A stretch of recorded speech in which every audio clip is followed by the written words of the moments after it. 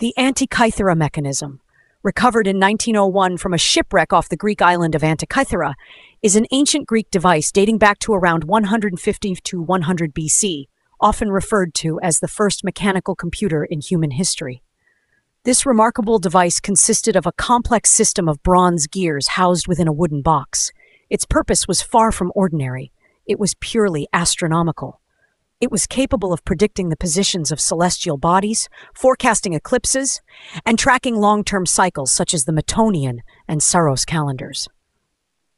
With the development of imaging and X-ray techniques, particularly in the early 2000s, researchers discovered that the mechanism was far more complex than previously thought.